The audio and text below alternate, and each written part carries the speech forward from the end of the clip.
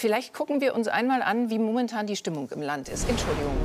Im aktuellen Politbarometer kommen alle Ampelparteien zusammen auf 31 Prozent.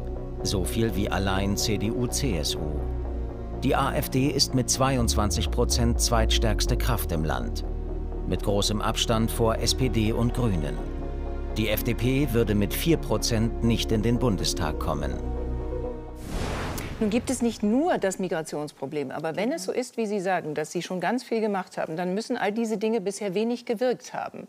Denn es gibt noch ganz viel zu tun, wenn man sich diese Zahlen anschaut. Also zum einen haben wir in den letzten Monaten sehr viel verändert. Ich habe gerade die Grenzkontrollen angesprochen. Ich habe angesprochen, dass wir einen Sonderbevollmächtigten für Migrationsabkommen mhm. haben. Mit Herrn Stamp auch erstmalig in der Regierung, gab es früher auch nicht. Ja. Wir haben mit ganz vielen Ländern schon verhandelt. Ich habe kurz vor Weihnachten mit Georgien ein Migrationsabkommen unterzeichnet. Sie haben das nicht zu spät. Ich fasse zusammen. Sie Nein, sagen, Sie machen das nicht zu, nicht, zu, spät. Nein, ähm, weil wir nochmal, weil wir aus dieser Situation kamen, auch mit den Ukrainern in einem mhm. Jahr, wo wir sehr beschäftigt damit waren, das zu regeln, auch nach anderen äh, Rechtsregeln. Ähm, ich habe dafür gesorgt in den letzten Monaten, dass wir eine Einigung in Europa erreichen mit einem aktiven Handeln. Das kommt ja, fällt ja nicht vom Baum, mhm. sondern hat mich sehr viel Kraft gekostet, mit anderen Staaten in Europa darüber zu verhandeln. Ich Haben bin sehr froh, hier versucht zu erklären. Genau, genau. Und ich bin sehr froh, dass ich das kurz vor Weihnachten, wenn ich das noch sagen darf, mhm. äh, dann auch mit dem Parlament im Trilogverfahren, dass wir das einen konnten. Ich finde, das ist ein ganz wichtiger Schritt. Mhm. Und ja, wir mussten auch in der Koalition Einigungen über diese Themen herbeiführen. Herr Lindner hat aber recht. Wir haben jetzt ein großes Paket okay. mit heute mit dem Abschiebungspaket auf den Weg gebracht. Und die Zahlen haben sich übrigens schon verändert. Wir haben ein Drittel Rückgang bei den irregulären Zugängen. Mhm. Ähm, und alle Ministerpräsidenten, die wäre von Ihnen kommen, Eva die angrenzen, bestätigen das Wäre auch. Eva Quadbeck, wäre die AfD in den Umfragen nicht da, wo sie heute ist, wenn die Ampel dieses Problem Migration früher angegangen wäre? Also aus meiner Sicht ist es tatsächlich zu spät angegangen worden. Die Zahlen, die haben sich ähm, aufgebaut seit ähm, dem ersten Quartal ähm, 2023 und ähm, da ist nicht schnell genug reagiert worden, aber es ist ja tatsächlich nicht nur das Migrationsproblem. Mhm. Die Ampel hat ähm, an vielen, bei vielen Themen den Eindruck hinterlassen, dass sie nicht in der Lage ist, die großen Herausforderungen dieser Zeit tatsächlich zu lösen. Und da ist Vertrauen bei den Leuten ähm, verloren gegangen.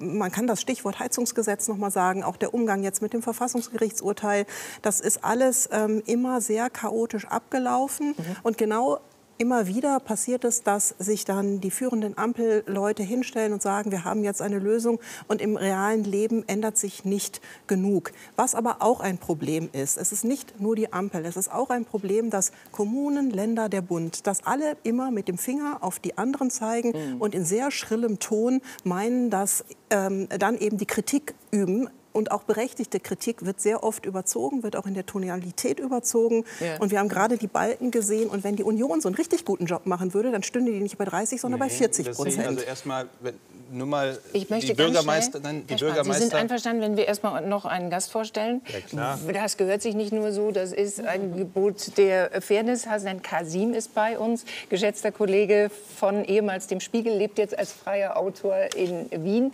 Herr Kasim, Sie haben natürlich, wie wir alle, verfolgt, welche Recherchen es von einem Magazin gegeben hat, ähm, äh, nämlich Korrektiv ähm, Rechtsextremisten und äh, eben auch maßgebliche Politiker der AfD. Denen geht es offensichtlich nicht darum, Migration in irgendeiner Art und Weise zu ordnen oder zu begrenzen. Die wollen völkische Reinheit. Für Sie ist das eine neue Erkenntnis oder eigentlich nicht? Absolut nicht. Das ist erwartbar gewesen. Mich wundert, dass Leute überhaupt überrascht sind deswegen. Also ich finde das Problem, weil die Frage ja auch auftauchte, äh, hat die Koalition äh, zu spät reagiert. Mein Eindruck als Sohn von Einwanderern, meine mhm. Eltern kommen aus Pakistan, Indien, ich bin in Deutschland geboren, in Oldenburg, bin im alten Land groß geworden in einem Dorf namens Holland-Twielenfleet. Ähm, Holland? Holland-Twielenfleet im alten Land. Herzliche Grüße dahin. Genau, herzliche Grüße dorthin. Ähm, ich, mein Eindruck ist, dass eigentlich seit Jahrzehnten keine vernünftige Migrationspolitik gemacht wird. Entweder macht man viel zu wenig, dann kommen Leute, dann passieren natürlich auch Dinge, die schlecht sind, ja, ja. Es, kriminelle Fälle. Wir hatten und dann wird überreagiert. Anfang dann, also ich habe das wahrgenommen in den 90er Jahren, brennende Flüchtlingsheime, Menschen werden gejagt, umgebracht und so weiter. Dann wird plötzlich kommt das Dublin-Abkommen und man macht wieder, also mit dem, mit dem Vorschlaghammer. Dann passiert wieder Ewigkeiten nichts. Und das kann man nachverfolgen bis heute. 2015 kommen wahnsinnig viele Leute. Grundsätzlich ja toll, dass wir ein offenes Land sind, aber ich habe das selber verfolgt als Reporter. Da kommen Menschen, da sind wirklich viele Menschen gekommen, ja. sind in Schweiz, Österreich, überall einfach durchgeleitet worden, kamen in Deutschland an und verflüchtigten sich. Kein Mensch hat das registriert. Das kann es ja nicht sein. Mhm. Und das führt dann wieder zu einer Situation wie jetzt, wo man dann äh, bis hin zu Deportation, Remigration solche Wörter benutzt. Also das ist immer so ein Meandern zwischen dem einen oder anderen, anstatt dass man kontinuierlich eine vernünftige Politik macht und sagt, ja, wir müssen Regeln schaffen, nach denen Menschen herkommen. Und auch nicht immer so tun, also auch der, die Tonalität ist ja so nach dem Motto, wie kriegen wir die alle los? Also ich habe ja immer das Gefühl, eigentlich bin ich hier eine Belastung und muss weggehen. Und wenn überhaupt sie kommen, sollen sie kommen, um zu arbeiten. Ja, grundsätzlich natürlich klar, wir brauchen qualifizierte Leute. Wenn dann aber wieder eine Situation entsteht, wo es vielleicht Schwierigkeiten gibt am Arbeitsmarkt, dann liegen die uns alle auf der Tasche und man müsste die wieder loswerden. Das ist halt immer das eine oder das andere Extrem, anstatt damit vernünftig umzugehen. Und dieses, was jetzt da bei diesem Treffen passiert ist, das ist etwas, da gibt es natürlich einen Kreis ja. äh, von Menschen in Deutschland. Äh, ich hoffe, ein kleiner Kreis, aber der denkt so. Für den sind Menschen wie ich niemals Teil dieser Gesellschaft. Da kann ich tun, was ich möchte. Ich kann mich anstrengen, ich kann mich integrieren, ich kann arbeiten. Ich werde nie Teil dieser Gesellschaft sein, weil ich eben nicht volksdeutsch bin. Das ist so dieses Denken. Das ist in der Tat gefährlich und bedenklich. Äh, welche Unzufriedenen holt man mit einer besseren Migrationspolitik. Wir werden versuchen zu sagen, ob es die gibt und worin das bestünde. Welche dieser Menschen holt man zurück und welche nicht? Na, man holt schon sehr viele Menschen zurück, wenn man erstens mal die Sorgen und Nöte ernst nimmt. Darüber hat man sich oft lustig gemacht gebe zu, auch ich manchmal. Aber äh, grundsätzlich, ich bin sehr viel durch, durch Deutschland gereist im vergangenen Jahr 2023. Ich war beispielsweise in einem Ort namens Upal, in einem Dorf in mhm. Mecklenburg-Vorpommern. Den Bürgermeister hatten wir hier. Mhm. Ah ja. Und äh, das ist ein Dorf, also in dieser, diesem Teil, es ist eine Gemeinde und in diesem Ortsteil Upal leben 500 Menschen. Da soll eine Flüchtlingsunterkunft gebaut werden für 400 Leute. Da fragt man sich, wer genau hat, hat diese Idee? Das kann nicht gut gehen. Ja, das, und dann kommt noch hinzu, ich war dort, als dann Proteste waren, die Menschen erzählten mir, sie würden ihr helfen wollen. Sie sind auch bereit, Menschen aufzunehmen, wenn es 30 sind oder 100, aber 400 ist arg viel und vor allen Dingen sind sie nicht gefragt worden.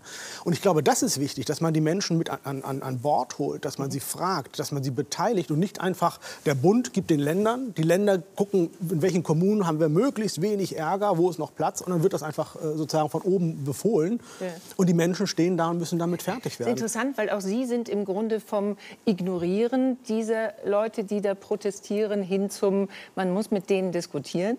Äh, Sie sind eben, also auch Sie haben eine Reise gemacht, wollte ich sagen, ja. nicht nur eine journalistische und viele davon, sondern Sie haben eigentlich gesagt, dass man mit den Wählern der AfD besser nicht sprechen sollte, um heute zu sagen, na klar muss man mit denen diskutieren. Ja, also das ist natürlich die Erkenntnis daraus, ich habe viele Jahre in der Türkei gelebt. Da kann man auch nicht sagen, alle Türken sind Erdogan-Wähler. Ich bin viel in Afghanistan als Reporter gewesen. Das sind nicht alles Taliban-Anhänger.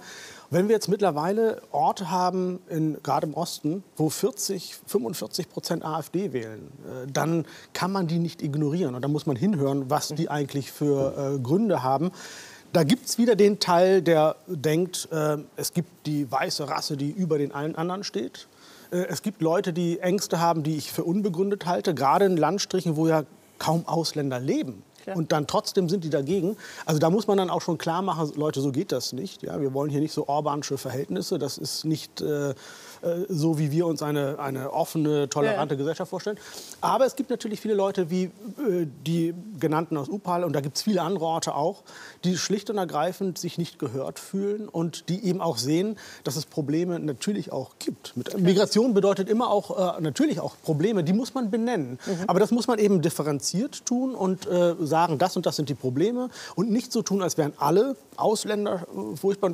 Das hat mit der Sprache zu tun. Und da stelle ich eben fest, bei diesem Treffen dort, aber leider auch Politiker, äh, die regieren oder in der Opposition sind. Ihr Parteichef zum Beispiel, der dann von kleinen Paschas spricht, mal, äh, das ist eine Sprache, die ist nicht gut, weil das so pauschal ist. Ja? Mhm. Oder dass die ständig alle beim Zahnarzt hocken und sich die Zähne richten lassen. Ja. Wenn man so etwas sagt, dann äh, verunglimpft man all die Menschen, die hier leben und eigentlich friedliche leben und auch gerne Teil dieses Landes sind. Mhm. Wenn ich nur mal, also Sie müssen jetzt, Herr Spahn. Jetzt das Problem ist, ist nur, wir haben jetzt in zehn Minuten schon wieder fünf verschiedene Themen gemacht. Vielleicht können wir noch mal zu der Grundsatzfrage. Wir kommen zu Umfrage. der grundsätzlichen Frage 20 Situation im 20 Prozent sagen, sie können sich vorstellen, die AfD zu wählen. Dann hat jeder bundesweit. Im, bundesweit. Dann hat jeder im Bekanntenkreis, in ihrer Redaktion, bei uns, äh, jeder kennt Leute. Das kann gar nicht anders sein bei 20 Prozent, die sich vorstellen können, diese Partei zu wählen. Die sind offenkundig nicht alle rechtsradikal. Ich würde sogar vermuten, die Mehrheit von denen ist nicht rechtsradikal und will auch keinen rechtsradikalen Umsturz im Land oder eine andere Republik. Die wollen eine andere Politik. Mhm. Und deswegen, Herr Kasim, reicht auch nicht zuhören. Es geht nicht nur um Zuhören, das ist der eine Teil, und auch Diskussionsräume übrigens weiten. Dieses Gefühl, man könne bestimmte Themen nicht mehr diskutieren, hat sich sehr stark verbreitet. Das hat übrigens schon während der Großen Koalition begonnen, muss man jetzt auch mal äh, sagen. Aber es ist noch stärker geworden. Aber die wollen auch eine andere Politik. Ja. Eine große Mehrheit im Land will beim Thema Migration, Integration, aber auch bei einer Frage wie Bürgergeld. Ich habe noch nie erlebt, dass eine Erhöhung einer Sozialleistung ein so breites Ungerechtigkeitsempfinden und auch Wut ausgelöst hat. Heizungsgesetz, die wollen nicht nur gehört werden, die wollen eine andere Politik. Und das ist dann auch der Grund für dieses große nicht mehr Vertrauen. 80 Prozent der Deutschen vertrauen der Bundesregierung nicht in der Krise. Sie, Platz 20 von 20, Frau Faeser. Der Innenministerin vertrauen Sie am wenigsten in einer Migrations... Das ist eine Bildzeitungsumfrage, in einer, in einer Umfrage. Ja, aber ja. ich, ich würde mir eher Gedanken machen, woher... Äh, ich, also ich, mich ärgert immer, dass wir dieses Warum nicht diskutieren. Warum 20 Prozent? Und ich äh, stelle mir die Frage, aber ich würde mir wünschen, ich habe ja heute die Debatte im Bundestag wieder erlebt, diese mhm. Bundesregierung würde sich mal die Frage stellen, warum haben so viele Menschen Vertrauen in uns verloren? Und da sind wir wieder beim Thema Migration. Es wird angekündigt, Abschieben im großen Stil. Es wird angekündigt, historischer Kompromiss. Das ist die Wortwahl, die gebraucht wird. Und dann kommt heute ein Gesetz, das weniger als 600 Abschiebungen im Jahr mhm mehr bedeutet, weniger als pro Tag nach Deutschland reinkommen. Und dann sagen die Leute natürlich na, irgendwann, ja, dann sagen die Leute natürlich, das steht in Ihrem Gesetzentwurf. Sie haben in Ihren Gesetzentwurf geschrieben, in der Begründung, 600 Abschiebungen mehr im Jahr. Und dann sagen die Leute natürlich zu Recht, da wird mir angekündigt, 27. da passiert was, da passiert nichts. Und meine Sorge ist, auch für uns übrigens, wenn wir mal wieder regieren sollten, mhm. wenn wir diesen Unterschied nicht bald machen, in diesen Themenfeldern durch konkrete Entscheidungen, nicht durch Pressekonferenzen und in Europa und Brüssel und hier was feiern, durch Entscheidungen im Alltag was verändern, ja. dann ist das der letzte Schuss der demokratischen so, aber Mitte. Aber das ist ja so interessant, dass Sie sagen, der letzte Schuss der demokratischen Mitte. Äh, das ist auch ein großes Wort. Wenn Sie sagen, diese Migrationspolitik müsste jetzt, das Problem müsste jetzt nur gelöst werden. Wie würden Sie es denn lösen? Sie wissen selbst, dass die Anerkennungsquote oder die berühmte Schutzquote bei wenigstens der Hälfte liegt. Können Sie den Menschen denn versprechen, dass es eine nennenswert einfache Lösung gäbe? Eine einfache gibt es natürlich nicht. Sowieso nicht. Das hat auch hm. niemand behauptet, dass es eine ein hat niemand behauptet, dass es eine einfache Lösung äh, gäbe, äh, außer vielleicht äh, tatsächlich die Regierung in ihren Ankündigungen. Übrigens auch der Kompromiss in Brüssel, der bis heute nicht richtig verschriftlicht ist, also keiner weiß genau, was da eigentlich vereinbart worden ist, wird am Ende das Problem nicht lösen. Aus meiner Sicht, aus unserer Sicht geht es nur an der Grenze an der mhm. EU-Außengrenze genau. und wenn es da nicht gelingt, an unserer Grenze auch Stärkeres zurückweisen. Durch Abschieben werden wir das am Ende sowieso nicht lösen. Wir sind im Moment ein Einreiseland. Man reist ein, man bleibt und hat ab Tag 1 soziale Ansprüche, als wäre man schon immer hier gewesen. Das geht nicht mehr sehr, sehr lange gut, auch nicht in der Akzeptanz. Die wollen nicht nur gehört werden, die wollen eine andere Politik. Und, und deswegen muss aus unserer Sicht äh, Drittstaatenlösung, die sogenannte, jeder, der neu in die EU einreist, in einen sicheren Drittstaat, mit dem wir eine Vereinbarung haben, gebracht mhm. werden. Dort das Verfahren, dort auch die Schutzgewährung. Das ist der entscheidende Teil im Falle eines positiven Bescheides. Wenn Sie das konsequent ein paar Wochen lang machen, dann ist die Botschaft weg. Und die ist hart, und dann die ist schwierig, aber die muss sein. Und Gabun die Botschaft ist, die wir müssen weg von der Botschaft, wenn ich es irgendwie nach Europa schaffe, bleibe ich zu 99 Prozent und habe Anspruch auf Sozialleistungen. Es ist in noch solange keinem diese, Land geschafft solange worden, Herr Spahn, das die, wissen bitte? Sie auch. Diese Asylzentren zu schaffen, also diese sogenannten Drittstaaten, mhm. in denen dann die Asylverfahren stattfinden sollen. Das ist bisher in noch keinem ist Land auch nicht ernsthaft verhandelt worden bis jetzt. Es ist in, natürlich ist es ja. mit Ruanda versucht worden. Und die Bundesregierung hat es nicht mit Ruanda versucht. Die Briten haben es probiert, die Dänen haben die es Briten probiert. Haben es probiert. Und da sprachen Gesetze immer dagegen, Richter immer dagegen und haben es nicht nee, genehmigt. Frau, also. Frau, Frau Illner, wichtig, UK, United, äh, Großbritannien, Vereinigtes Königreich, ähm, das Gericht hat nicht gesagt, das geht nicht. Das Gericht hat gesagt, so, so wie ihr es nicht. gemacht habt, und deswegen ändert die britische Regierung ja gerade auch äh, die Gesetze und die Regeln. Ja. Äh, äh leider macht die aktuelle Kompromiss, äh, der in Brüssel gefunden worden ist, Drittstaatenlösung eher schwieriger als leichter. Dann also man muss dann, Euro, okay. man muss dann europäisches Recht tatsächlich äh, verändern. es gäbe auch die Partner. Für die Ostgrenze kann man sicherlich mit, äh, also Ostgrenze der Europäischen Union, mit Georgien Albanien, reden. Italien äh, Albanien, Albanien.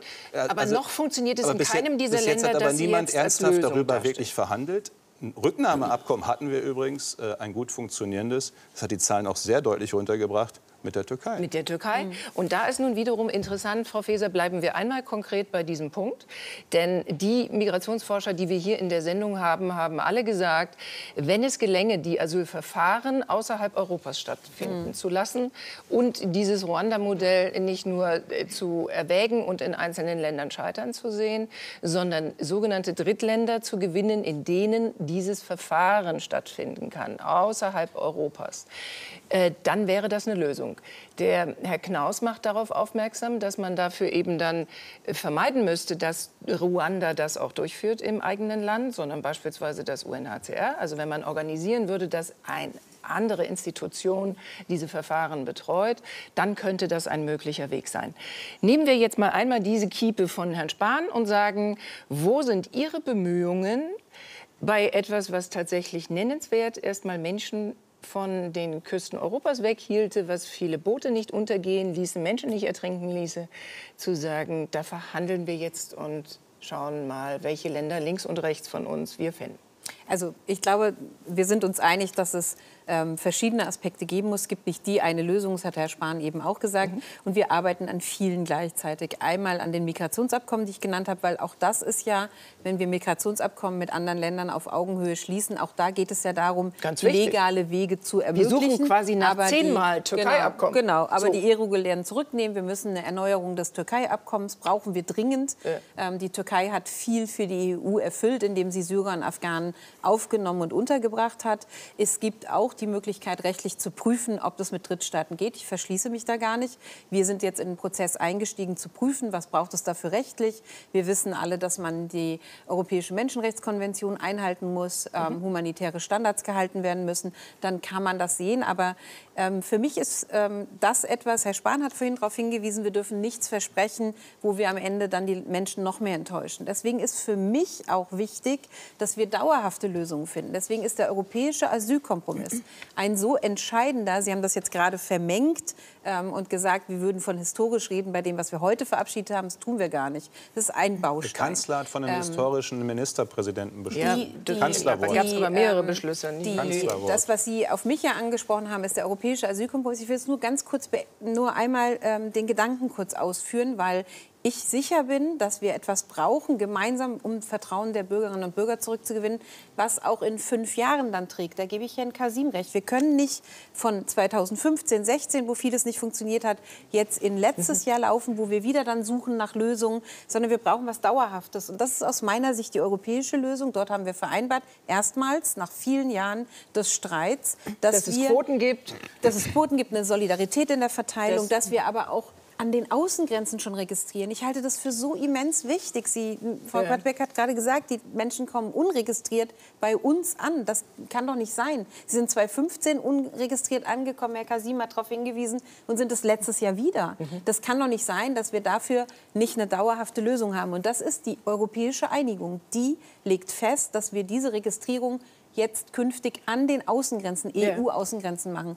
Er hat festgelegt, dass diejenigen mit einer geringen Schutzquote kommen, die Verfahren an der Außengrenze stattfinden. Das unter humanitären Standards.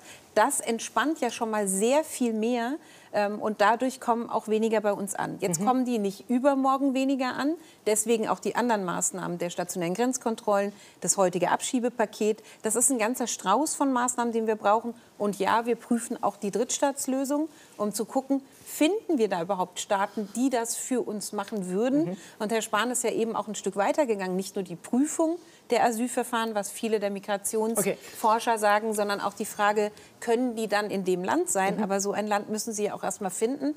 Wir gucken gerade mit großem Interesse, wenn ich das noch zu Ende führen darf, Ganz nach rasch. Italien, die das mit Albanien, Albanien gerade versuchen gesagt, genau. und haben auch rechtliche Probleme. Aber wie gesagt, wir sind dabei, wir aber prüfen das. das. Ich möchte einen Satz, Satz dazu ja, kurz sagen, weil also ich glaube, an einer Drittstaatenlösung führt kein Weg dran vorbei. Mhm. Man braucht diese Unterstützung. Ja. Aber das man ist darf, ja auch nicht neu. Nein, ist es nicht. Aber man darf, aber man darf nur eines nicht. Gabriel wollte Libyen ja, man darf nur, man darf nur eines nicht vergessen. Man darf nur eines nicht vergessen. Wir machen uns dann natürlich wieder abhängig von einem Mann wie Erdogan. Und dann darf man nicht wiederkommen, wenn der dann irgendwelche Dinge äh, fordert, dass man dann sagt, oh, das ist aber ein Diktator oder ein Autokrat. Also das, man muss sich, ich, ich sage nur, man muss sich dessen man bewusst muss real, sein. politisch man muss da sehr real. Und wo äh, ist die Sorge, wieder mehr zu versprechen politisch, als man einlösen kann? Wie groß ist Ihre Sorge, Herr Kasi? Naja, das Problem ist natürlich, äh, man kann das versprechen, aber die, die äh, schmutzige Arbeit macht dann der andere Staat, in dem mhm. Fall die Türkei. Und äh, so wie Sie das jetzt äh, dargestellt haben, also so, ich habe Flüchtlinge besucht in, in, in der Türkei, äh, Syrer, Afghanen. Ich auch. Das ist bitter, wie die da leben. Also das ist jetzt nicht so, dass man sagen kann, die Türkei macht das ganz wunderbar mhm. und nimmt sie nicht auf, sondern ich glaube, das ist in jedem Flüchtlingslager. Das ist, ja, aber es ist in der Türkei ja. besonders bitter. Plus äh, Herr Erdogan hat dann halt immer noch dieses Pfund in der, äh, Pfand in der Hand und kann sagen, ich fordere dies und dies und dies und will auch Geld haben aber und so weiter. Wenn man auf diese internationale Debatte wirklich mal ehrlich draufschaut, dann ist es ja so, dass wir schon seit Jahren immer wieder diese gleichen Diskussionen führen. Also der Versuch, ähm, Drittstaatenlösungen zu bekommen, der Versuch, an der EU-Außen Außengrenze alles zu regeln, in der EU dann am Ende die Menschen gerecht zu verteilen und diejenigen bezahlen zu lassen, die nicht äh, bereit sind, äh, Flüchtlinge aufzunehmen. Ja. Und es hat bisher nicht ähm, funktioniert. es hat ja. bisher nicht funktioniert und es wird aus meiner Sicht auch weiter nicht funktionieren. Und das Problem jetzt auch mit den Beschlüssen, die auf europäischer Ebene gefasst worden sind, wenn man schaut, wann kommt die Europawahl im Juni. Also ich habe meine allergrößten Zweifel, dass auch nur ein Bruchteil der Beschlüsse noch umgesetzt werden kann oder in Gesetze gegossen werden, weil dann kommt der europäische Wahlkampf und dann, ist, dann schließt sich das Zeitfenster, das zu tun. Und das Einzige, was bisher immer geholfen hat, war so etwas wie das EU-Türkei-Abkommen, weil es natürlich eine ganze Reihe von Menschen davon abgehalten hat, überhaupt die EU anzusteuern. Und äh, dann aber vor allen Dingen das Signal gesetzt hat in die Heimatländer, Leute, bleibt zu Hause, weil ihr kommt hier nicht weiter, ihr kommt in die EU nicht rein. Das ist, mhm. wenn man ganz ehrlich ist, und das ist ziemlich bitter, ist das Einzige, was funktioniert hat. So, Aber und dann sind wir Sekunde, Herr Spahn, noch mal. Damit wir uns darüber im Klaren sind, wenn ich das Hier gibt es jetzt schon Handreichungen. ganz kurze Nachfrage. Ist irgendetwas davon bis zu den Europawahlen zu schaffen, was jetzt auf dem Plateau liegt? Wir ja, reden über Europa, wir reden über das, ja. wie man hier im Land verschärfen will, wie mit Asylbewerbern umgegangen will, wird. Und wir haben über dieses Deutsch, äh, über dieses Bund-Länder-Abkommen gesprochen. Wird irgendetwas davon schon nicht nur Wahlkampfthema sein, sondern schon in der Mache sein. Also was, ähm, das Einzige, was ich im Moment sehe, was, was tatsächlich wirkt, ist, ähm, sind die Grenzkontrollen. Genau. Also die sorgen dann auch genau. dafür, dass äh, weniger Menschen reinkommen. Ja. Was helfen würde, man müsste dann auch mal gucken, aus welchen Nationalitäten kommen denn die Menschen im Moment. Afghanistan, Syrien, Türkei, Türkei. hat sehr zugenommen, Irak. Und man könnte sicherlich mit der Türkei noch mal darüber sprechen, warum kommen so viele Menschen, ja. die am Ende keine ja, Anerkennung kriegen. Herr Erdogan, Herr Erdogan auch, ist. Auch beim, auch, beim, auch beim Irak gibt es sicherlich Möglichkeiten, dass ähm, die Leute nicht äh, diese Anerkennung, also die haben nicht diese Anerkennung mhm. wie die Afghanen und die Syren, Syrer. Und natürlich äh, muss man sich noch mal die Balkanroute genau anschauen, was da, was da eigentlich passiert. Also das sind so die Dinge, die man tun kann. Die haben aber überhaupt nichts mit, den, mit der jetzigen europäischen Gesetzgebung zu tun. Das, wär, das wäre im Grunde genommen pragmatische Politik, ja, dass man da, äh, da rangeht und sehr konkret äh, sagt, ähm, wo man dafür sorgen kann, dass der ähm, Zuzug geringer wird. Das, also das ist ja der entscheidende Punkt. Von den europäischen Maßnahmen wenn überhaupt, wird es eine ganze Zeit dauern. Und der entscheidende Teil ist eben nicht miteinander vereinbart worden. Wir müssen, das ist meine feste Überzeugung, es ist hart, es ist furchtbar, man will es eigentlich nicht, aber es wird notwendig sein, jeden an der EU-Grenze aufhalten und an der EU-Grenze sagen, hier geht es nicht weiter, bevor wir nicht eine Entscheidung getroffen haben. Und aus bestimmten Ländern, in bestimmten Situationen geht es hier äh, gar nicht weiter. Das heißt eben am Ende auch, Leute davon abzuhalten, reinzugehen. Und das ist der entscheidende Punkt, äh, über, um den alle irgendwie äh, ein bisschen drumherum reden, habe ich immer wieder den Eindruck, weil man nur Leute registrieren kann, äh, die sozusagen an einer Stelle überhaupt durchkommen, sonst kommen sie irgendwo mhm. äh, dann, dann Und das gelingt weil man nicht. nur, nein, das gelingt ja, jedenfalls. Und, und das, was die Aufnahmezentren angeht, das gilt maximal für ein Drittel der Leute, die dort kommen.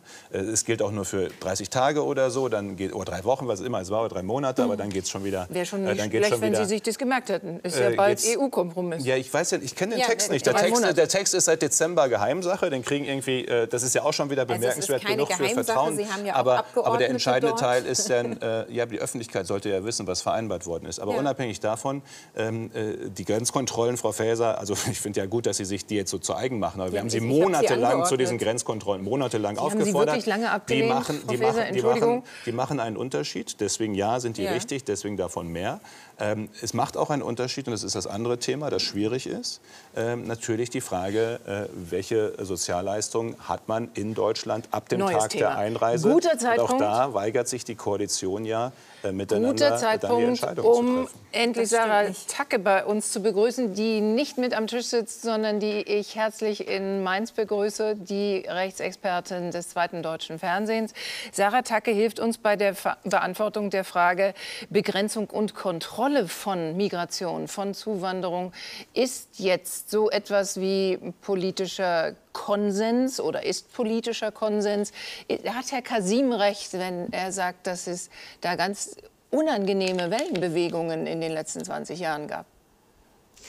Ja, das ist richtig, aber die Begrenzung und die Kontrolle von Zuwanderung ist nicht rechts und schon gar nicht rechts außen, sondern im Gegenteil, die Begrenzung und die Kontrolle von Zuwanderung ist Rechtsstaat, das ist Ordnungspolitik. Ja, und da gesagt. verläuft die Trennlinie nach rechts außen, wenn sie nach rechtsstaatlich und nach demokratischen Mitteln erfolgt.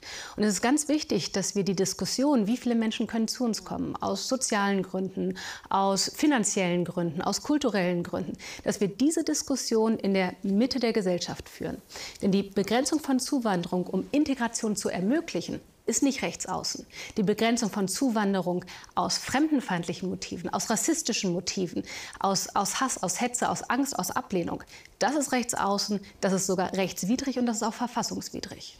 Wo beginnt Volksverhetzung, ist ja die entscheidende Frage. Das heißt Menschenrechte und nicht deutschen Rechte. Wo beginnt in Ihren Augen Volksverhetzung? Die beginnt genau dort, wenn man äh, vom Recht des Blutes spricht, wenn man davon spricht, dass äh, Deutsch, dass wir die Deutschen sind, die hier Geborenen. Ja, das, ähm, auch das Wort Remigration spielt damit rein. Ja, das ist ähm, sprachlich Eigentlich immer ein schmaler Grad. Auch das.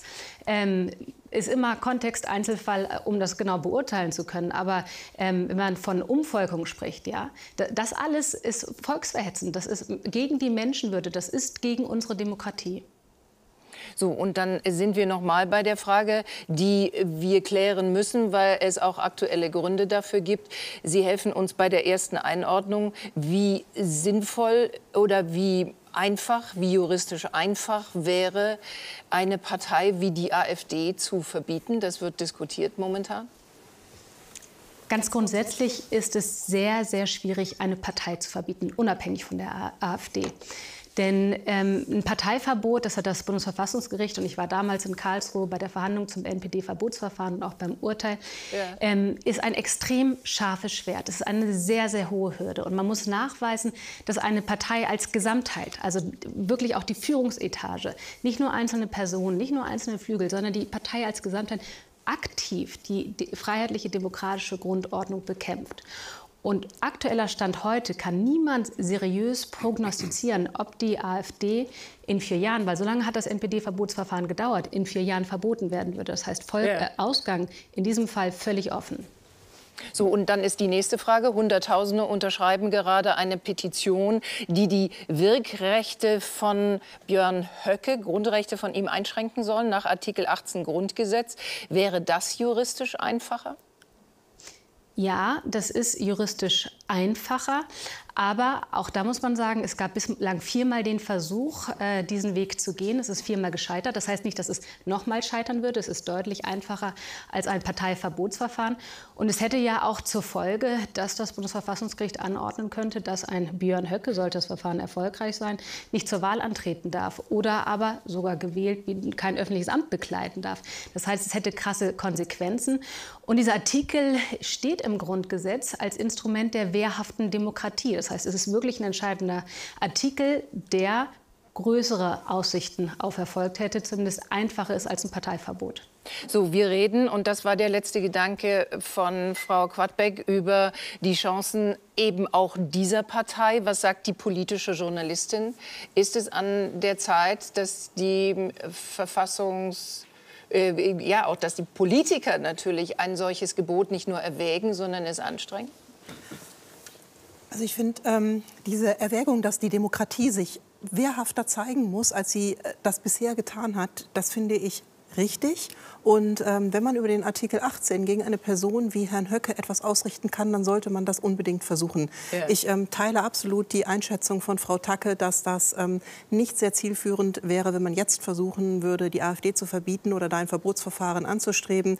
Wahrscheinlich wäre die Reaktion, dass die Solidarisierung mit der AfD, also um es politisch einzuschätzen, äh, nur noch größer wäre. Und in diesem Wahljahr, in dem wir ja äh, fürchten, dass die AfD ähm, in drei ostdeutschen Bundesländern die stärkste Partei werden könnte, wäre das eher kontraproduktiv, das anzustreben. Weil die Menschen sind ja noch da. Wenn man die AfD verböte, mal unabhängig davon, dass das nicht sofort ginge, die Menschen wären ja noch da genau. und die Unzufriedenheit und die, wäre und, noch da. Genau, und die Wählerinnen und Wähler, die ähm, die AfD wählen, die wären auch noch da. Deshalb halte ich es, wie gesagt, politisch für nicht zielführend. Dennoch glaube ich, dass sich die Demokratie wehrhafter zeigen muss. Artikel 18 halte ich da ähm, für ein gutes Instrument. Das ist ja auch nicht äh, ohne Grund in die, ins Grundgesetz gewandert. Und dann gibt es noch andere Möglichkeiten. Also wenn man sieht, wie sich ähm, Rechtsradikale organisieren über soziale Netzwerke. Das BKA hat schon Personal aufgestockt, um mehr Streife zu gehen im Internet. Aus meiner Sicht reicht das überhaupt noch nicht aus. Ich glaube, dass die Demokratie da noch nicht wehrhaft ist.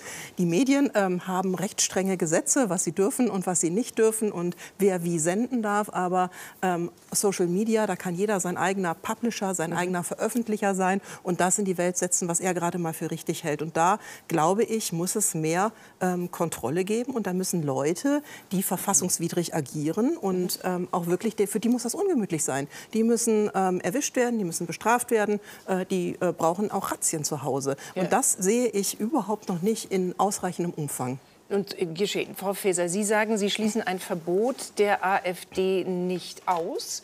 Da würde ich gerne wissen, was heißt denn das? Ähm, vielleicht muss man die sogar verbieten oder muss es wenigstens anstrengen? Also nein, ich bin äh, der gleichen Meinung wie Frau Quadbeck. Ich glaube, in der politischen Auseinandersetzung ist ein äh, Verbot einer Partei, weil sie einem gerade nicht passt oder weil ähm, sie hoch in den Umfragen sind und man nicht möchte, dass sie in die Regierung kommen, weil sie sehr ausgrenzende Rhetorik haben, weil sie ähm, möglicherweise verfassungswidrig sind. Das wissen wir aber nicht. Das prüfen dann ja am Ende Gerichte. Das entscheidet nicht die Politik. Und das ist ja auch richtig so aufgesetzt im Grundgesetz, dass das andere entscheiden außerhalb der Politik. Ich habe es deshalb gesagt, dass ich es nicht ausschließe, weil selbstverständlich Sicherheitsbehörden natürlich immer wieder überprüfen, wer handelt wie im öffentlichen Rahmen. Es wird immer wieder danach geguckt, wird die Verfassung ähm, hier mit Füßen getreten. Wir haben ja die Einstufung bei der AfD schon als rechtsextremistischen Verdachtsfall. Das heißt, wir handeln dort als Behörden bereits mhm. und gucken uns das genau Sie an. Sie beobachten, aber deswegen, Sie können zum Beispiel V-Leute nicht Genau, und deswegen kann ich es zum Beispiel... Mal nur beobachten. Genau, und deswegen habe ich gesagt, kann ich es nicht ausschließen und das kann in ein paar Jahren natürlich ein Mittel sein, was man am Ende anwenden muss. Aber in der politischen Auseinandersetzung, und ich bin ja auch politisch, mhm. ähm, finde ich es nicht den richtigen Weg, weil da geht es darum, äh, Vertrauen in den Menschen zurückzugewinnen. Und bei der Bekämpfung der Rechtsextremisten, das, was wir jetzt in Potsdam gesehen haben, da gibt es in der Tat viele Möglichkeiten. Ähm, ich habe im letzten Jahr zwei rechtsextremistische Vereine verboten, unter anderem die Hammerskins.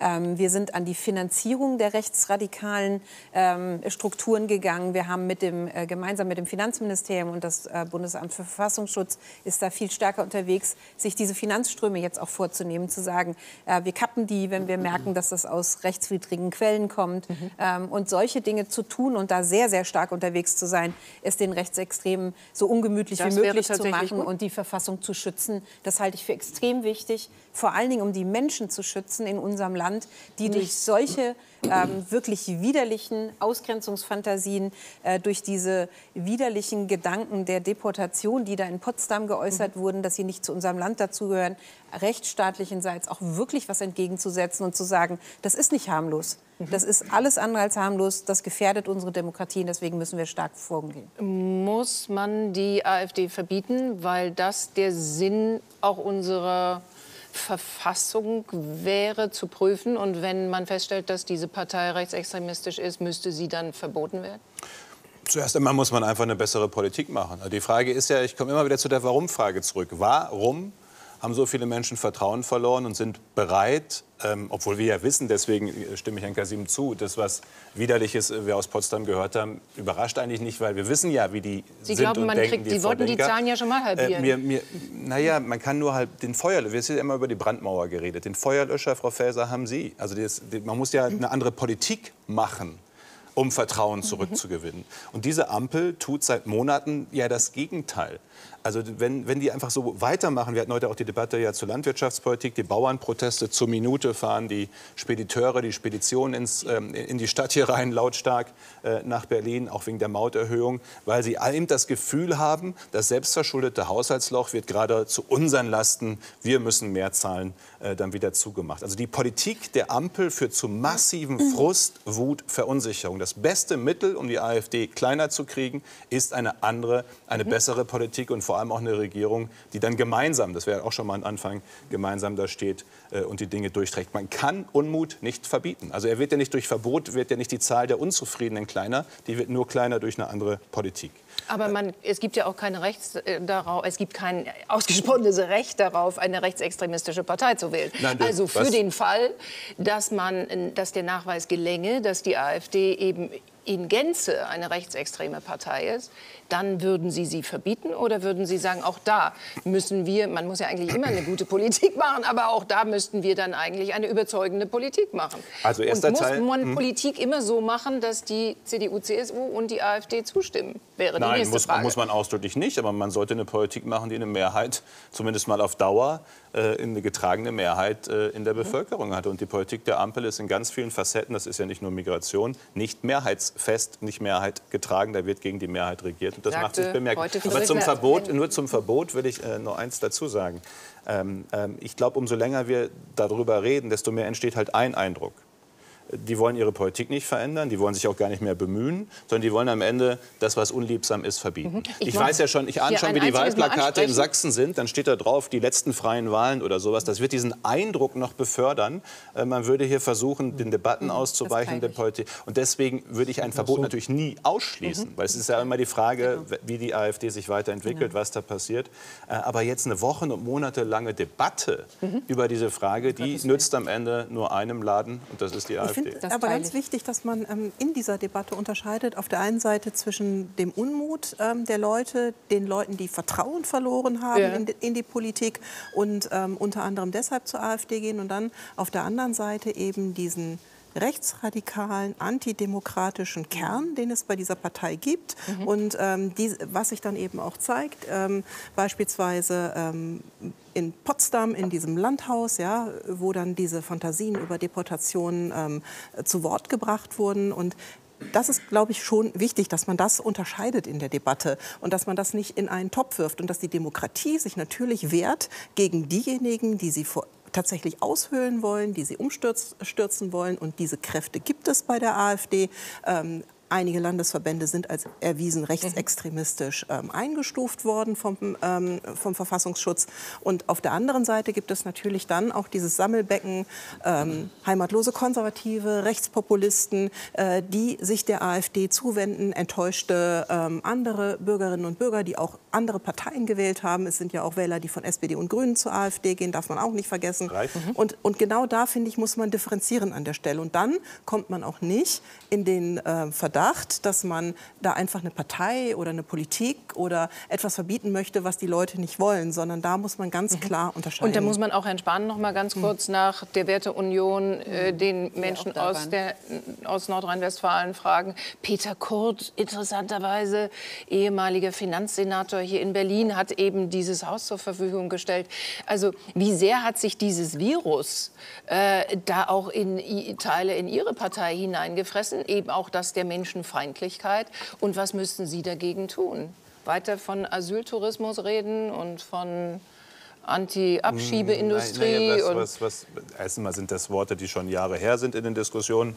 Philipp aber, Amthor heute. Aber ja. unabhängig. Anti-Abschiebeindustrie. Naja, was ist damit gemeint? Da, jetzt kommen wir zurück zur Migrationsdebatte. Das sind, das sind Frage, viele Verbände und Anwälte. Virus? Wir haben ziemlich viele Verbände und Anwälte, die rund um das Thema äh, Rückführung ziemlich viel Geld verdienen und auch machen. So, aber es ist eine andere Debatte, die können wir auch führen. Ja. Äh, die Frage, ähm, äh, die Frage den, den Diskursraum, das ist die Kunst. Das ist eine schwierige Balance übrigens. Und und ich, äh, muss, man, muss man auch wirklich aufmerksam auf äh, vorsichtig machen gelegentlich. Achtsam achtsam ist ein, ein gutes Wort, ähm, den Diskursraum offen und breit halten. Also ich finde es schon wichtig, dass wir Dinge aussprechen. Und was halt in der Vergangenheit passiert ist, ist, dass zu viel ganz schnell, und da nutzt sich der Begriff übrigens auch ziemlich schnell ab, irgendwie als rechts, rechtsextrem, rechtsradikal, Nazi äh, äh, mhm. gebraucht worden ist. Übrigens sagen die Leute irgendwann, wenn ihr immer sagt, ich bin rechts, dann bin ich es irgendwann einfach auch. Also dann kommt auch, das sehen wir ja an, an verschiedenen Stellen, so eine Haltung daraus, dass ein Begriff gar keinen Wert mehr hat. Die Debatten in der notwendigen Breite führen, übrigens auch strittig führen, ist auch auszuhalten halten. Frau Faeser und ich können ganz unterschiedlicher Meinung sein und trotzdem äh, vernünftig miteinander umgehen. Das, das, das auszuhalten miteinander und gleichzeitig sich klar abzugrenzen gegen extreme, radikale und auch eine, eine, eine Wortwahl, die widerlich so, ist, die nicht Frau Esken, ist. Und das ist auch das, weil das war Ihre Ausgangsfrage, was wir in der Partei natürlich machen, wenn wir die Erkenntnis haben sollten. Aber ich möchte natürlich jetzt muss erst mal alles aufarbeiten. Belege haben. Belege haben sollten, dass sich CDU-Mitglieder daran beteiligen, dann werden wir natürlich die notwendigen Maßnahmen. Und notwendige Maßnahmen heißt auch, dass Sie sich von denen trennen würden, von diesen liegt, nach, es liegt immer dran, was, was sozusagen vorgefallen ist. Es mhm. gibt ja auch da äh, rechtsstaatliche Grundsätze, auch für Parteiausschussverfahren. Äh, aber wenn äh, die eben die, das, was sie getan, gesagt haben, mhm. Das rechtfertigen würden, würden wir natürlich entsprechende Verfahren einleiten. Wenn nicht, dann aber auch, also auch das sind rechtsstaatliche Verfahren. Aber ich bin erstmal immer für Sachverhaltsaufklärung, bevor alle schon immer im, im, im Reflex alles. Wir sind alles genau wissen. bei dieser Frage. Frau Faeser ist gleich dran, Herr Kasim, weil es natürlich auch die These gibt, dass man, äh, dass die Rechten jetzt einen solchen Erfolg haben, weil andere Parteien, andere Politiker diese Parolen von rechts tatsächlich auch im wahrsten Sinne des Wortes salonfähig gemacht haben. Schließen Sie sich diesem Gedanken an und sagen Sie, da ist eine, ein ganzes Land nach rechts gerückt? Oder sagen Sie, es, ähm, es mittlerweile auch genug Grüne und genug Sozialdemokraten, die sagen, auch unsere Vorstellung von Multikulti, nämlich sich dann gar nicht mehr um diese Menschen kümmern zu müssen, waren einfach falsch. Wie gucken Sie auf diese also mein Eindruck ist nicht, also ich höre das sehr oft, dass alle Parteien jetzt hinterherrennen, dass die AfD den Ton vorgibt. Leider, ja, das stimmt manchmal. Also wenn ich sehe, äh, bei dem sehr geschätzten Magazin Spiegel, wo ich ja viele Jahre gearbeitet habe, dass Olaf Scholz ein Interview gibt, ein Titelinterview, und da steht, wir müssen jetzt im großen Stil abschieben. Ja, ich meine, hätten wir mal schon in, Jahr, in den Jahren davor mhm. vernünftig abgeschoben und vernünftige Politik gemacht und auch vernünftige Migrationspolitik gehabt, dann wäre das nicht nötig, jetzt so zu reden. Also diesen Eindruck könnte man haben. Aber grundsätzlich, glaube ich, merken viele äh, Parteien, äh, wir, das ist ein Thema. Mhm. Und wir müssen darüber reden und wir müssen äh, da äh, wir haben lange Lösung, genug nicht wir haben lange genug, genau. Schlaue Lösungen und, äh, Aber wir haben jetzt die ganze Zeit über das Verbotsverfahren gesprochen. Ich möchte eben noch mal auch betonen, erstens mal, wir wussten schon, wie die reden, also nicht erst seit Potsdam. Wäre genau meine nächste genau, Frage gewesen. Wir, äh, also, man muss nur nachlesen, was Herr Höcke in seinem Buch geschrieben Herr Gauland, hat. Herr Gauland auch. Schon. Und ich könnte stundenlang referieren und zitieren, was AfD-Politikerinnen und Politiker sagen. Ja? Also, Deutschland sei befallen von Schmarotzern und Parasiten, die den Deutschen das Fleisch vom Knochen fressen. Das ist eine Wortwahl und ein Zitat, das aus der AfD kommt. Das ist natürlich rechtsextrem und das würde ich am liebsten verbieten, aber Frau Tacker hat das gesagt, das muss natürlich die gesamte Partei sein. Das muss die Partei in der Gesamtheit so sein. Und da stimme ich Herrn Spahn äh, zu. Ich glaube, weder die Wähler und ich glaube sogar auch die, die Politikerinnen und Politiker der AfD sind in der Gesamtheit nicht alle so. Also nicht so extrem, mhm. dass man es verbieten könnte. Und ich glaube, dann ist der Schaden am Ende größer, wenn man es versucht, sie zu verbieten und es scheitert. Wenn Frau Faeser Saskia Esken sagt, Ihre Parteichefin, dass die CDU und Herr Merz im Besonderen brandgefährlich seien, das sind dann der Herr Merz und der Herr Spahn, mit dem Sie den Deutschlandpakt machen wollen und mit dem Sie für alles mögliche Lösungen finden wollen. Ist das klug, dass man sich untereinander auch so bespricht? Also ich glaube, manchmal, wir haben es ja, Herr Spahn hat es gerade gesagt, manchmal schießt man in der Diskussion über das Ziel hinaus. Ich glaube, das halten wir miteinander aus. Ich glaube aber, was wichtig ist in so Debatten, ist tatsächlich Achtsamkeit. Sie haben es vorhin gesagt. Ich ähm, glaube, dass wir an unserer Sprache arbeiten müssen. Mhm. Ich habe heute im Bundestag schon wieder Sprache gehört, die fand ich nicht in Ordnung. Ich habe zum Beispiel auch Herrn Amthor gesagt, dass es nicht in Ordnung ist. Von, es sind äh, 330.000 Erstasylanträge im ganzen letzten Jahr gestellt worden. Und er redet aber in dieser gesamten Gesamtheit der Zahl von irregulärer Migration. Das ist schlicht falsch. Ähm, und solche falschen Begriffe, falschen Zahlen äh, so umzudeuten, das hilft uns in der aber Debatte nicht. Aber brandgefährlich ist schon ein ordentliches ähm, Wort. Wenn ja, man die Kollegen eigentlich, also ein außerordentliches Wort, wenn man die Kollegen mal, vielleicht eigentlich braucht also ich glaube, es ist wichtig, generell in der Debatte so miteinander zu diskutieren, dass man immer noch äh, miteinander am Ende auch mhm. arbeiten kann. Ähm, ich habe gerade eine Koalition mit der CDU in Hessen gegründet ähm, und glaube auch, dass die äh, sehr erfolgreich sein wird. Mhm. Ähm, also man muss ja immer in der Lage sein, auch unterschiedliche Konstellationen aufzusetzen. Und ich möchte aber noch mal eins, wenn Sie erlauben, sagen ähm, zu dem, was Herr Spahn über die Ampel gesagt hat. Die Ampel ist besser als Ihr Ruf und ich will wirklich noch mal dafür werben. Also ja, die Leute nein, sind schuld schuld. Ja, nein, nein, das sage ich überhaupt nicht. Das stimmt gar nicht. Ähm, ich würde nie die Wählerinnen und Wähler beschimpfen und ich würde sie auch nie dafür kritisieren, dass sie uns im Moment das Vertrauen nicht schenken. Um Gottes Willen, darum geht es überhaupt nicht. Es geht darum, auch über die Dinge zu, mal zu sprechen, die gelungen sind und in welcher Lage ja, wir überhaupt regieren. Machen. Das mache ich ja jetzt. Ja. Ähm, ah. Nämlich ah. Zu, zu, sagen, äh, wir regieren in Krisenzeiten, wo Krieg mitten in Europa ist, wo wir mhm. den furchtbaren Angriff der Hamas auf Israel seit dem letzten Oktober haben, was äh, destabilisiert passiert auch bei uns. genug besprochen. Genau. Und aber ich möchte noch mal sagen, was uns auch in dieser Zeit gelungen ist. Wir haben in kürzesten Monaten die Energieversorgung ähm, komplett nicht umgestellt. Frau Wieser, ich glaube, ja, es ist eher nicht schlau, wenn Sie das alles aber, noch mal das, aber, aber das ist ja nicht der Punkt. Ist es bewusst. Das ist nicht es geht Punkt. schon um Dinge, die Nein. uns auch in dieser Konstellation Der Punkt ist, dass wir eine Regierung haben, die Tag und wir Nacht streitet. Um die Migration. Eine Regierung, die Tag und Nacht streitet. Und, Ein Bundeskanzler, von dem ich seit ich, ich, in diesem Jahr habe ich ihn persönlich noch gar nicht gesehen. Ich weiß nicht, ob er überhaupt schon im Bundestag war. Ich weiß gar nicht, ob der überhaupt noch da ist. Ich weiß nicht, was er will. Ich weiß nicht, was er Vielleicht macht. Lassen Keine Sie mich politische. Ausreden, Herr ich, ich wollte Ihnen nur sagen, bevor Sie jetzt äh, sagen, wir haben doch alles super gemacht. Nein, das sage ich ja gar nicht. Äh, es ist, es ist ziemlich viel Frust im Land und ich habe so den Eindruck, Sie leben irgendwie in Ihrer eigenen Wirklichkeit Nein. hier und, und, die anderen sind nee. irgendwie. Und das müssen Sie mir auch nicht unterstellen, weil ich eigentlich gerade sehr selbstkritisch was sagen wollte, okay, äh, wo Sie mir ins in Wort gefallen sind. Ähm, natürlich äh, dürfen wir nicht öffentlich streiten. Ähm, da bin ich ganz der Meinung, dass man das anders regeln muss. Ähm, ich habe große Gesetzgebungsvorhaben im letzten Jahr und diesem Jahr auf den Weg gebracht. Das Fachkräfteeinwanderungsgesetz, so etwas wie das ähm, heute das Rückführungsgesetz, GEG wenn ich das sagen darf, Frau Illner. Ähm, ja. Und wir haben darüber nicht öffentlich gestritten, obwohl wir und das wissen alle, dass das heutige Rückführungsgesetz für manche Partner in der Koalition auch schwierig war. Wir haben das hinter verschlossenen sind, Türen gemacht. Die Grünen und ich glaube, die sind immer noch sehr unzufrieden. Und ich glaube, wir fragen ganz kurz, die Leute das auch. Aber was haben Sie denn den Grünen dafür gegeben, dass sie mitmachen? Kann ich Ihnen sagen. Die Anwälte, Doch, kann ich Ihnen wohl sagen. Wir sind noch mal bei den fröhlichen Außenpositionen und sagen, ist es nur der Streit in der Ampel? Und glauben Sie, Frau Quadbeck, dass es die Opposition braucht, um tatsächlich dieses große Problem Migration dann auch recht zügig zu lösen?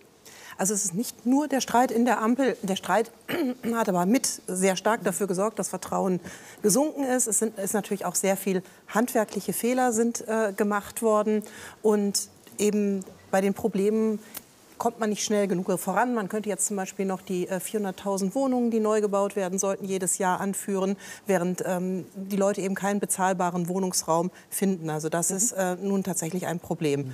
Und ähm, in so einer braucht die Regierung die Opposition? Ich glaube ja. Also bei der, bei der Lösung der großen Probleme. Man ist ja auch ähm, in ein paar Punkten zusammengekommen. Und was die Debattenkultur angeht, da kann man eigentlich nur den Ratschlag geben, jeder möge sich an seine Nase fassen mhm. und äh, prüfen, ob ähm, das der Stil ist, der dann auch die Debattenkultur prägen soll.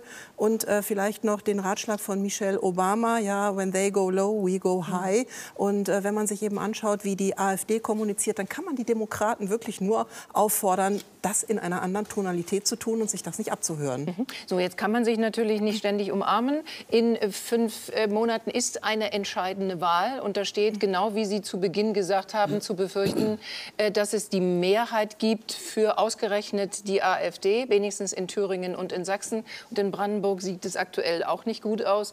Ähm, das hieße, Herr Spahn, die CDU steht vor der entscheidenden Frage, ob sie in Thüringen beispielsweise mit äh, der Partei von Herrn Ramelow zusammengeht. Naja, also Sie wünschen sich, dass der in eine andere Partei geht, das verstehe ich. Wer jetzt? Herr Ramelow. Ramelow. Äh, wie auch immer. Also, müssen und denken Sie darüber nach, mit anderen Parteien, die Sie vorher in dem berühmten äh, Ablehnungsunverträglichkeitsbeschluss äh, abgelehnt haben, zu umarmen? Nee, der entscheidende Schlüssel, und das ist nach meiner Wahrnehmung auch der Debatte heute im Bundestag immer noch nicht verstanden, der entscheidende Schlüssel dafür, dass regierungsfähige Koalitionen, äh, vor allem auch in Thüringen und Sachsen entstehen, ist die Politik der Ampel.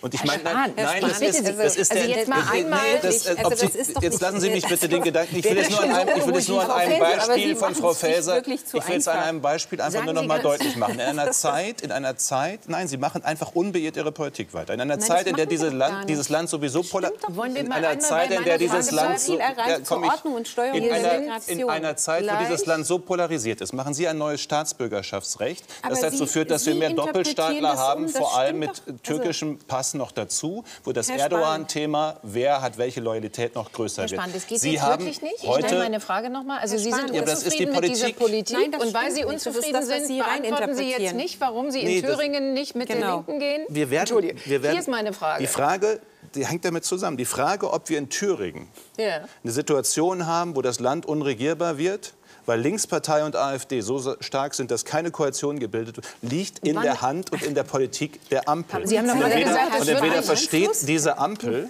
entweder versteht diese Ampel, dass bei Migration Staatsbürgerschaftsrecht, wo Sie ja heute indirekt noch die Scharia zur Geltung gebracht haben, Sie nehmen ja alles also, gerade, Sie Spahn, nehmen ja alles, es gibt Protokollerklärungen, es gibt Protokoll, es gibt Protokollerklärungen der Grünen, die sagen, wer aus religiösen Gründen einer Frau nicht die Hand gibt, wird trotzdem eingebürgert. Das haben Sie heute Herr beschlossen. Spahn, und dann wundern Sie sich, also dann wundern Sie sich, dass die Leute durchdrehen. Und deswegen ist der Schlüssel für regierungsfähige Mehrheiten, der Schlüssel für regierungsfähige Mehrheiten in Thüringen und Sachsen. Der Schlüssel liegt in der Politik der Ampel. Das ist absurd, so, aber so Sie einfach. haben jetzt immer noch nicht gesagt, wenn die SPD da bleibt, wo sie jetzt ist, stehen Sie vor exakt dieser Frage. Wenn Sie es noch mal probieren oder wollen Sie es noch nicht sagen oder überlegen Sie immer noch CDU-intern? Wir kämpfen dafür, dass wir so stark werden, dass wir mit Partnern in der demokratischen Mitte eine Regierung bilden können. Okay. Dafür treten wir Deutschlandkoalition sieht schlecht aus da. Also nochmal die Frage nach der Linken. Ja, nein?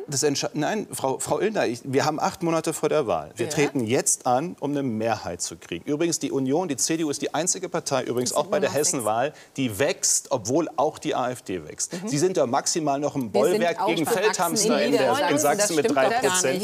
Und deswegen, und deswegen ist der entscheidende Schlüssel, Frau Illner, ich verstehe, dass Sie die Frage uns stellen wollen. Aber eine SPD, die drei Prozent in Sachsen in den mhm. Umfragen hat oder sieben in einer anderen, die muss sich doch die Frage stellen, was da eigentlich also los offensichtlich ist. Offensichtlich tun die so, das. wir tun können, das ja. Es wird nur vielleicht wir, nicht so schnell gehen. Wir verlieren nur nicht an die AfD. Wir sind in Hessen stärker geworden und die AfD ist stärker geworden. Ja. Alle anderen haben verloren. Und ich würde mir einfach wünschen, dass die anderen sich mal die Frage stellen, warum. Ja, alles. So, und dann vielleicht daraus Schlussfolgerungen ziehen. Und dann ist trotzdem die Frage, dann begrüße ich Sie das nächste Mal exakt mit der Frage, glaube ich, ob Sie darüber schon nachgedacht haben, weil wenn sich an dem Ergebnis jetzt nichts verändert, müssen Sie eine Entscheidung fällen. Und dann ist die Frage, gehen Sie mit Herrn Ramelow zusammen? Oder jemandem von der Linkspartei. Wir wollen eine. Ich, Sie wollen stark werden. Wir wollen so stark werden, Unbedingt dass wir regieren können. Dafür treten wir an.